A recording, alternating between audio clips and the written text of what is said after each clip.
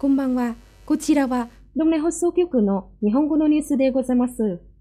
貧困者のために、誰一人取り残さないというエミュレーション運動に応えるために、近年には、ドンナ省における貧困な家庭に対して、物質的、精神的な支援を行う活動は大きな支持を得ています。この運動は多くの活動を通じて貧困者に対して速やかに支援してきました。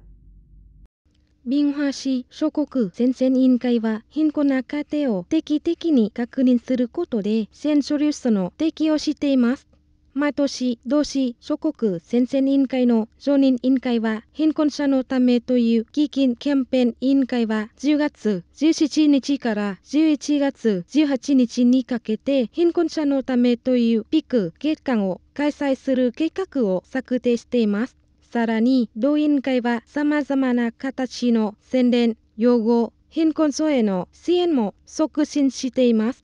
2024年の1月から9月まで、同委員会は革命、殺者、貧困層、恵まれない労働者に寄付金240億ドンに相当する約6万5千セットの贈り物を寄贈しました。国家銀行はこのほど金融機関に対し消費者向けの診療商品を開発するよう指示しました。国家銀行はまた年末の国産品の消費を刺激するために電子及びオンラインフォームによる融資を促進するほか、ローンや消費者金融の手続きを簡素化するよう指示しました。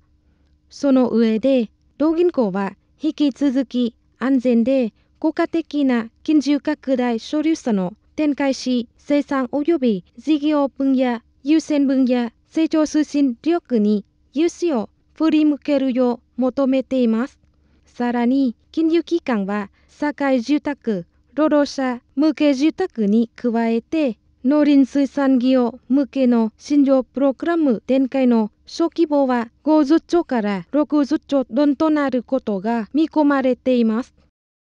ベトナムは国内のデジタル経済の発展に重要な貢献をすることを期待し、2030年までにブロックチェーン技術で地域の主導国の一つになることを目指しています。これは、法録副副首相が最近署名した2030年を見据えた2025年までのブロックチェーン技術の活用と開発に関する国家戦略の内容です。政府は少なくとも3つのテストセンターを備えたインフラストラクチャに投資しながら高い競争力を持つ20のブロックチェーンブランドを開発することを目指しています。さらに政府は法的環境の整備、インフラ整備、人的資源の開発、研究、国際協力の促進を含む5つの主要課題を盛り込んだ2024年から2030年までのコロ計画も発表しました。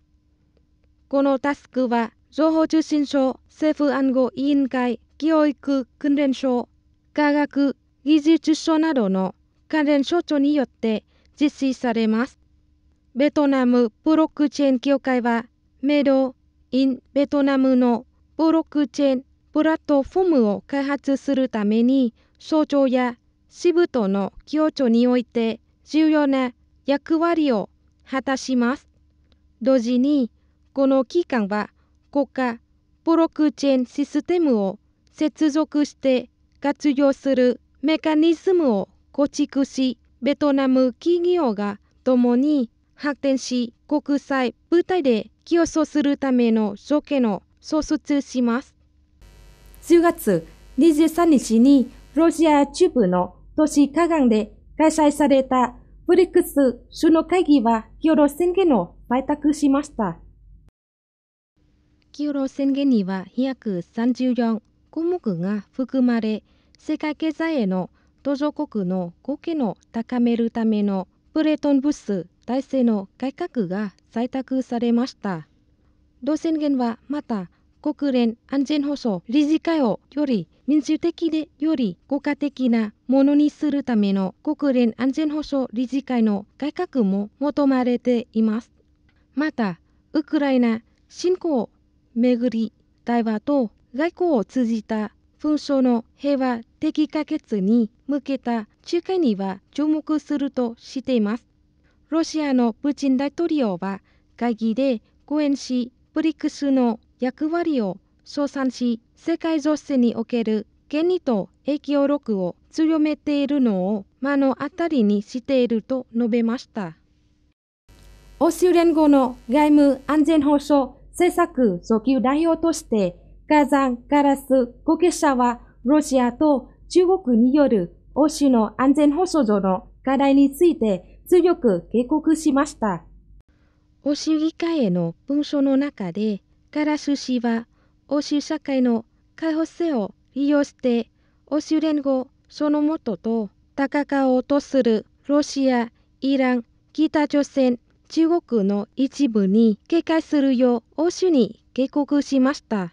そして来年6月にゼプ・ボレル氏の後任となるカラル氏は当面の優先事項はロシアのウクライナ侵攻の解決と欧州防衛の強化が必要だと断言しました。ご清聴ありがとうございました。